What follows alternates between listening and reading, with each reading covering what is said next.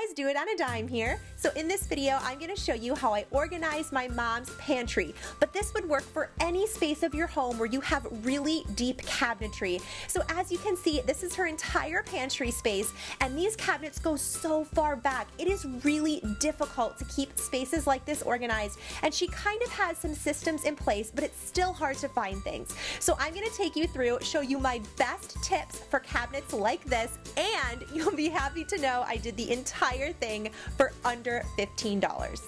The first tip is to completely clear the space, everything. Plus, this gives you an opportunity to take inventory and make sure you know exactly what you have.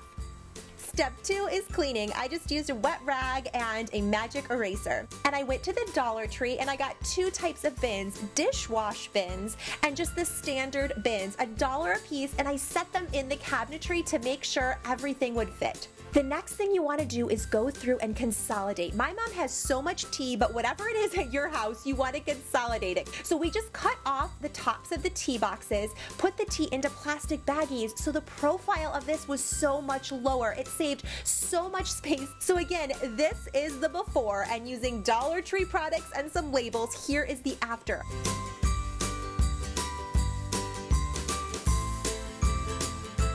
everything is layered. You take out the basket in front to access what you need in the back. It makes it so much easier to get to stuff. You've got all of her tea just in one box. This is awesome. Those baggies did the job. We also have an additional spot where she keeps tea that she wants to take out and have on the ready. I use those shelves that she used to store the tea on for all of her canned goods. This is such an effective use of space, so don't get stuck in a rut with your organizing. That way, when she's baking, she just takes out the basket in front and replaces it when she's done and the pantry stays organized. At top in these dishwash bins from the Dollar Tree, you could find them at Walmart. She's got all of her Keurig stuff, which is easy to grab.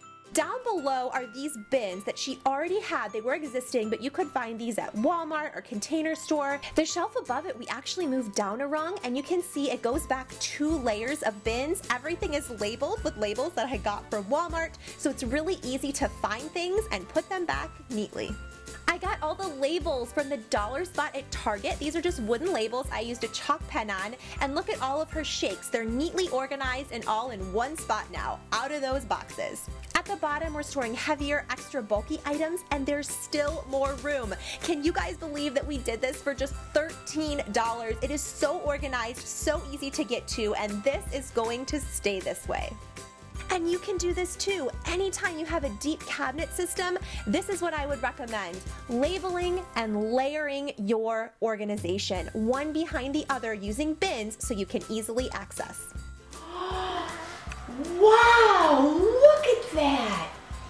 It's like going to the store. I, I, I need to buy this. Would you like to buy that? That's perfect, just like in a store. That looks delicious. I, I like to buy this. Okay, that will be fine. Five cents, please. Let's click. Click. It's uh, uh, perfect. We love it. Oh.